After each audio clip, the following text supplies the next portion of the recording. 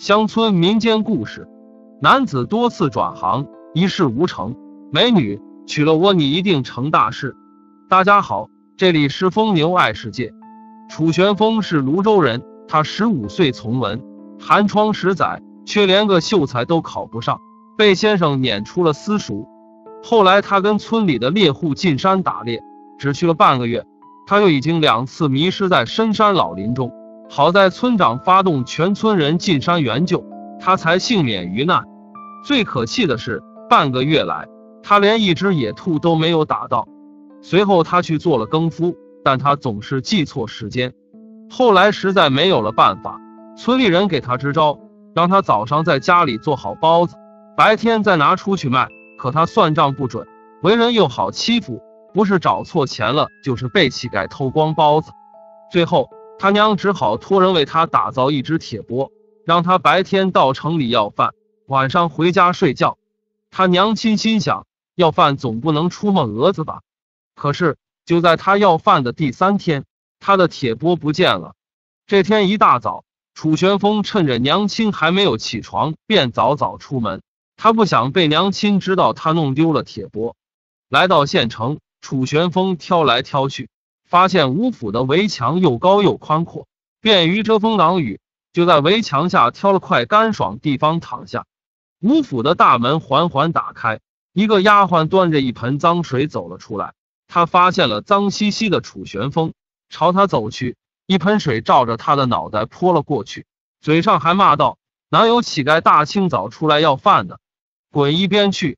楚玄风来气了，说道：“院墙往里才是吴府。”墙外是公家地方，我坐在外面乞讨，与你何关？说完，他跳了起来，将自己身上的脏水往那丫鬟的身上蹭。丫鬟说：“到底是个弱女子，哪里斗得过一个大男人？”他被楚玄风一把拉住，被他蹭了一身的脏水，急得大哭起来。楚玄风可没有怜香惜玉的心，他从小到大就没有受过女子的恩惠，有的只是白眼与看不起。他心想：“我又不是天天被你们笑脸相迎的富家少爷，怎么可能放过你？”动静越闹越大，屋子里传来一阵铜铃般的声音：“小翠，怎么去倒个水，半天不回来？”叫小翠的丫鬟只顾着挣脱楚玄风，根本没有听见主人的呼唤。一个富家小姐从吴府的大门走了出来，她柳眉凤目，肤白肉嫩，明眸红唇，身姿婀娜。简直是百年难得一见的大美人。当那女子看到楚玄风时，啧啧称奇，自顾自的说道：“天下间竟有如此好的胚子，难得难得。”楚玄风自知相貌奇丑，错听为富家小姐在说自己是痞子，他别过脸去，不与她对视，而抓住丫鬟小翠的手却没有松开。奇怪的是，那富家小姐并没有让他放开丫鬟小翠。只是笑盈盈的盯着他，再普通的人被旁人目不转睛的盯着也会不自在。楚玄风只得放开小翠，转身离去。才没走几步，楚玄风发现身后那富家小姐正拉着小翠紧紧的跟着他。他动，后面两名女子也跟着动；他停，两名女子也停下来。不管他去到哪里，富家小姐和丫鬟小翠就跟到哪里。但他们不上来搭话，只是一直在后面盯着他。楚玄风生气了，他拐进一条小巷，等尾随的两名女子靠近，他一下子跳了出来，与两人撞了个正着。两名女子笑而不语，绕过他，往前走了十多步，然后又回头盯着他。妈呀，见鬼了！楚玄风见他们阴魂不散的跟着，拔腿就跑。那富家小姐就拉着丫鬟小翠也跟着他跑，三人就这样一前一后的跑着。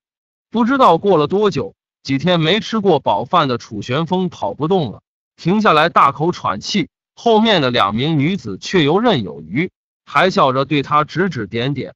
楚玄风想起一间恐怖的破庙，里面全是断头的佛像，蛛网密布，许久没有人踏足，十分阴森。他觉得两名女子肯定不敢进去，于是便快步走向破庙。果然，富家小姐拉着丫鬟小翠在破庙门口来回踱步半天，就是不敢进去。楚玄风整理好一块地面，用杂草堆成睡垫，躺了下来。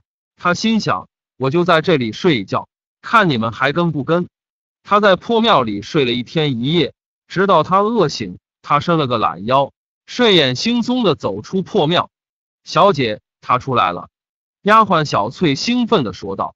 夫家小姐看到楚玄风，两眼放光，立刻凑了过去。楚玄风越过他们。继续往前走，夫家小姐则是拉着丫鬟小翠一路跟随，又足足跟了一天。楚玄风再也忍不住了，他走到富家小姐面前，问道：“你们到底什么意思？跟了我两天两夜，有话又不说，只是远远的盯着我看，是什么意思？”夫家小姐对他行了个半身礼，说道：“公子，小女子名叫吴慈，是吴员外的独女，自小习得方术。”见您的容貌出众，实在忍不住窥视，还望公子见谅。楚玄风无语了。从小到大，他不知道被多少人骂过长得丑。这有钱小姐是得了失心疯吧？但见人家如此礼貌回应，楚玄风也不好说什么，只好自顾自地走向街市。在路过一处荒废屋子时，吴慈与丫鬟小翠看准时机，将楚玄风一把推了进去。楚玄风不知道发生了什么事，凌乱的站在破败的房子里。吴慈一把将他推倒。再看小翠，他早已经跑出门外，并关上了那扇千疮百孔的破门。楚玄风反应过来，问道：“吴慈小姐，这可是别人家里，你要做什么？”“这是我娘亲的老家，不过他们全都死了，所以这也是我产业。只是最近我没有钱修葺。”才落得如此破败的下场。这里是你家，那我得赶紧走，免得被你们告到衙门。吴慈解开了自己的上衣，说道：“公子，不如跟我玩玩。”这可吓坏了楚玄风。当今世上竟有如此不正经的女子，在外面跟个乞丐两天两夜，只为跟他玩玩。但他看着着装清凉的吴慈，被他婀娜的身姿吸引住。也顾不得思考他的为人如何，可尴尬的是，他从来就没有看过女人的身体，也不知男女之事该如何操作。他只好脱去衣服，默默地躺在原地不动。吴慈见状，有些无奈，他凑到他脸旁，开始啃他，手把手的教他怎么做。两人缠绵了许久才成事。楚玄风问道：“像你这样的富家小姐，怎么会看上一个百无一用的乞丐？”百无一用，即为大用。人来到世上，都带着自己的使命。表面看，你做什么事情都不行，但只要发掘出你的潜能，你做什么都会很出色。只要你肯将脸面放下，我都出来要饭了，哪来的脸面？那你的意思是肯放下脸面了？早就放下了。吴慈舒了一口气，说道：“那公子，请跟我回吴府。我家中父母早亡，偌大的家业。”已经被旁系亲戚占得七七八八，希望你可以帮我主持公道。楚玄风见吴慈竟有求于自己，虽然他知道自己无能，但还是问了出来：要怎么做？你就直说，但我保证做不好。吴慈笑道：“你会做得很好的。”楚玄风就这样稀里糊涂的入赘了吴家。吴慈有个奇怪的规矩，就是不能照镜子。据他所说。他从小就有一种怪病，郎中诊断他活不过十岁。后来他爹爹打听到，修炼一种方术可以为无此延寿，于是花重金请来许多江湖术士陪他修炼。无此也如愿的平安长大。但此门方术照镜子是大忌，会使无慈破功。无慈为了自己的安全，要求楚玄风一同修炼方术，让他跟自己一样不能再照镜子。往后的一个月，楚玄风只要一看到镜子，小翠便会灌他喝下酸臭汤，直至楚玄风只要在余光中发现镜子，便会呕吐为止。楚玄风并没有想那么多，自己本来就是个无用之人，在入赘吴府后，衣食无忧，放弃照镜子对一个男人来说也不算什么大事。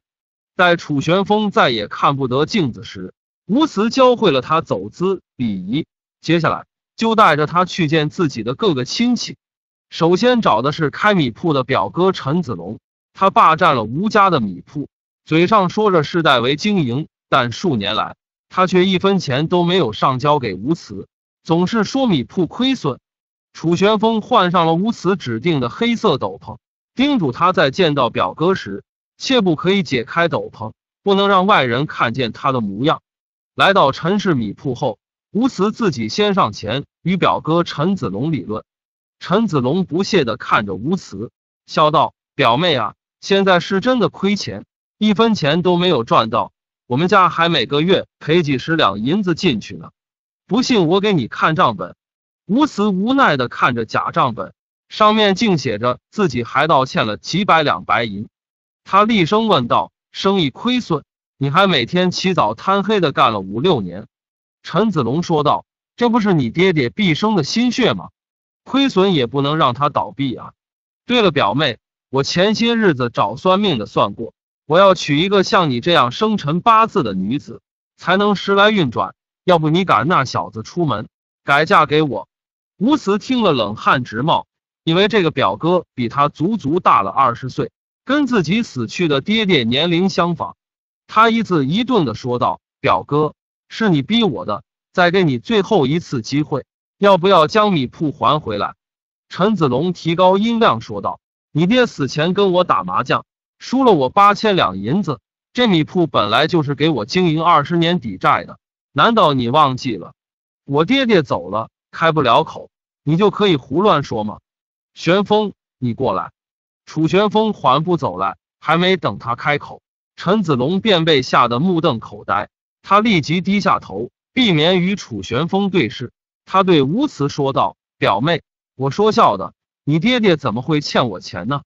接着，陈子龙将米铺所有的现银收集出来，交给了吴慈，并当场写了一张新招牌“吴氏米铺”，用来替换了原来的陈氏米铺。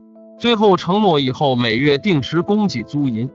吴慈带着楚玄风满意的离开。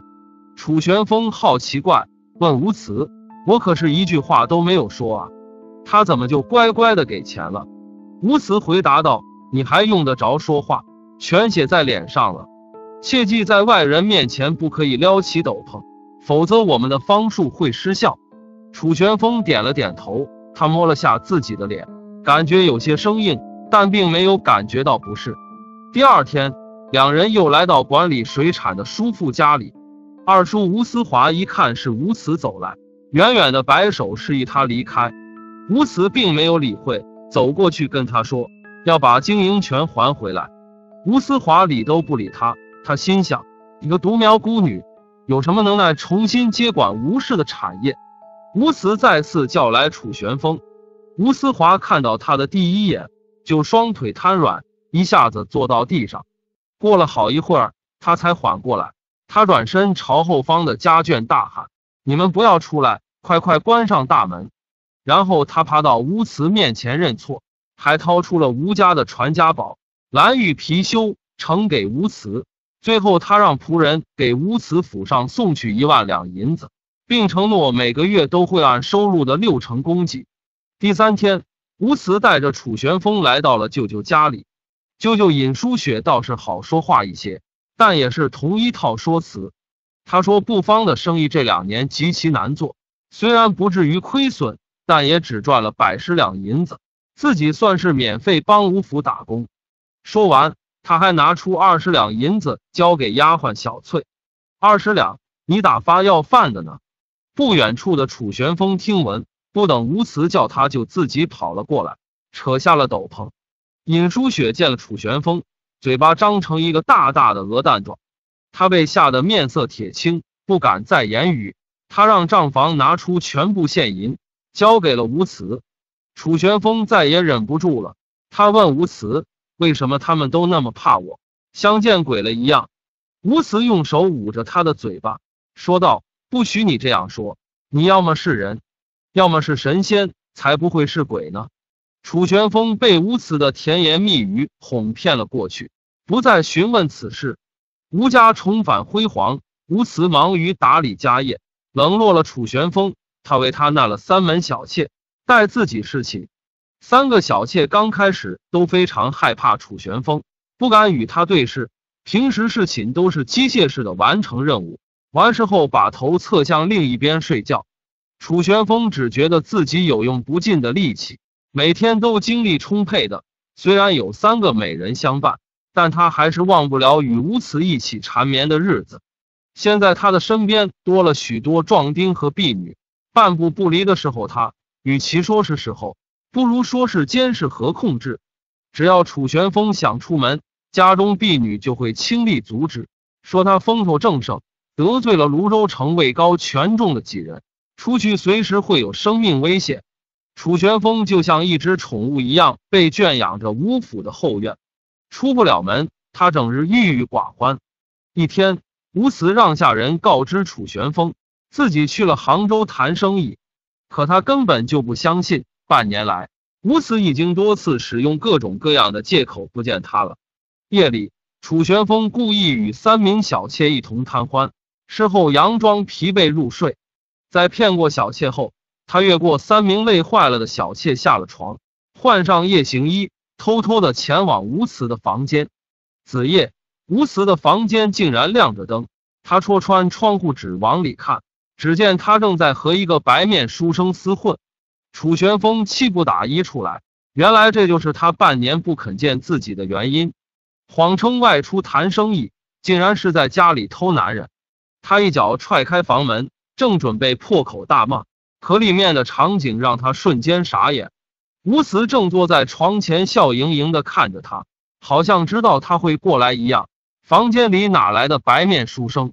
楚玄风厉声质问：“方才的白面书生去哪儿了？”吴慈也不生气，他搂住他的脖子，问道：“那白面书生长什么样？朗目舒眉，扎高头辫。那你摸一下自己的脸面和发髻。”楚玄风疑惑的摸了摸头顶，自己竟也扎了一个高头辫。莫慈解释道：“你看到的人其实就是你自己。你日日与人寻欢，许久没有练习方术，容易看到幻象。”说完，莫慈便钻到了楚玄风的怀里求欢。可他刚刚宠幸过三名小妾，已是精疲力尽，只得含恨挣脱他离去。往后的日子，每隔一段时间，吴慈便会到后院找楚玄风寻欢。有了鱼水之欢，楚玄风打消了所有的疑虑。时光荏苒，转眼过去了三年，吴慈和三个小妾陆续生下六个孩子，每个孩子都是清新脱俗，容色照人，如同一个模子刻出来的一般。俗话说，一母生九子，个个不重样，可全部孩子长一个样，这很是奇怪。他再次质问吴慈，吴慈委屈的哭道：“你是不是傻？我要是偷人，怎么生出的孩子和几个小妾的娃一模一样？他们可是从来没有出过后院，天天与你同寝共眠。”一下子就把楚玄风说服了。随着小孩长大，又有奇怪的事发生。这些孩子总是认不出楚玄风，记得当天已经告诉他们自己是爹爹，等到了第二天，他们又会认不出来自己。他断定小孩有问题，于是筹备良久，终于在一天夜里，他将所有的家丁婢女用迷烟药晕，然后抱着最大的孩子出门找郎中。郎中只与楚玄风对视了一眼，便背过身去对他说道：“我真的没有办法为您看病。”五泰山上有个紫薇道长，是个得道高人，兴许他能帮助你。楚玄风早已经习惯旁人见他就会害怕的场面，也不责怪郎中。他雇了一辆马车朝五泰山出发。紫薇道长见了他，目光从容，谈吐得体，这倒有些令楚玄风不习惯。他将小孩每隔一天便会不认识自己的事告诉了道长。道长笑了笑，问道。您是何方大事？所修何术？我是楚家庄的楚玄风，不是什么大事。紫薇道长啧啧称奇，语出惊人。您是人？楚玄风怒了，说道：“你一个修道之人，是人是鬼都分不清吗？你有多久没有照镜子了？我修炼的方术不能照镜子，已有数年。”楚玄风答道：“明白了，施主，请随我来。”紫薇道长带着他走进了一处山洞，穿越过去，里面竟别有洞天。一帘瀑布就在眼前。紫薇道长点亮了洞内所有火把。忽然，楚玄风的眼前出现了一个夜叉。只见他面目狰狞，双额生绝，耳尖、腮尖、头上、肩上都有恐怖的骨剌突出。楚玄风被吓了一跳，他连忙往左边跑去。可奇怪的是，夜叉也被吓了一跳，也往左边跑去。楚玄风见状，连忙改往右边跑。那夜叉的想法竟与他不谋而合，也该往右边跑。楚玄风退后，那夜叉也退后。见此，他才放下心来，问道：“道长，这是个什么怪物？”紫薇道长苦笑道：“这便是施主你啊！”什么？楚玄风连忙摸向自己的前额和肩膀，发现并没有犄角和骨刺，他才松了一口气。这个山洞水气弥漫，是我研习多年打造的慎景之地。紫薇道长说罢，便站到楚玄风身旁。那夜叉身旁居然多出了一个一模一样的紫薇道长。楚玄风这才明白过来，为什么道长说夜叉是自己。他惶恐的问道：“那我怎么没有摸到犄角骨刺？我也不清楚你身上发生了什么事。但夜叉是我一生最恐惧的事物。我猜想你会具象化别人的深层恐惧。”紫薇道长说道。楚玄风一下子全明白过来了，为什么吴慈当年只是带着自己去见人，一句话不说，对方全都吓坏了。楚玄风问道：“道长，我还有救吗？此方术我闻所未闻，亦不知道解法，只能去问你的师傅。”楚玄风气愤的说道：“他如果肯救我，为何要将我变成这个样子？”紫薇道长说道：“这个贫道说不准，不过我已经看出你的气血将枯，恐怕时日无多。可为什么我觉得自己体力充沛？那是用精元气血代偿，你的体力越好。”能活的日子就越少。楚玄风见道长也无能为力，打算抱着孩子下山。紫薇道长拿出几道符纸递给他，说道：“这是我的镇山之宝——万宗灭神符，你带上吧，看他能不能帮到你。”吴慈看到楚玄风回家，长长的舒了一口气。楚玄风佯装无事，说自己只是想出去透透气，但是路上一个人也没碰到。夜里。楚玄风趁吴慈熟睡，悄悄拿出一把匕首抵住他的脖子。此时，他怀中的灭神符竟然飞了出来，缠在匕首的刀刃上面。吴慈被弄醒，他惊恐地看着楚玄风。楚玄风说道：“我已经知道自己会幻化成别人最恐惧的怪物了，你到底怎么弄的？快告诉我！”吴慈见再也瞒不住，平静地说道：“当年我家道中落。”一群家丁拿不到工钱，轮番玷污了我。我本来打算一死了之，就在我挂好白绫之际，一个没有双手的瞎眼尼姑进了我家，他救下我，并教会我混沌方术。楚玄风握紧了匕首，打算听他说完，便将结果了他。吴慈见他肯听自己解释，便放慢语速说道：“只是混沌方术损人不利己，只有特定的人研习，才不会落入妖。”贫孤残的困境，师傅就是落入残境，才失去双目双手。当年你说自己百无一用，其实你这种人的根气是最好的。你在尘世一无所事，便是上天要你修行的神职。可惜你迟迟没有觉醒。看到你的那一刻，我便知道你是修炼混沌行者的绝佳容器，不会被反噬，还能放大法力。楚玄风又问道。我是不是每天都会变成不同的样子？吴慈说道：“你每见一个人，就会变成他们内心最恐惧的事物。我的表哥陈子龙，他年轻时曾上过战场。他有一个残暴至极的将军，没有军粮时，他下令直接吃掉弱小的士兵。听表哥说，战死的士兵还没有被吃的多。见到表哥时，你就是幻化成那死去的残暴将军。叔父吴思华。”在年轻的时候，他曾抛妻弃子，两母子既没有生计，又无家可归，最后双双投河自尽。见他时，你就幻化成那对死去的母子。舅父尹书雪，他曾经为了他爹的一个小妾亲手弑父，你则幻化成了他的爹爹。楚玄风问道：“你说我的根气好，修炼混沌行者也不会损伤自己。可紫薇道长说我活不长了啊！吴慈生气道：“胡说！那老道一定是觊觎你的修炼成果，故意离间你我。如果我想你死，为什么要嫁给你，为你生下两个小孩？我和你同床共寝三年多，为什么不趁你熟睡时将你杀死呢？你可知道，在我眼里，你一直都是玷污过我的家丁的模样。即便这样，我依然舍不得离开你。”听到这里，楚玄风迟疑了。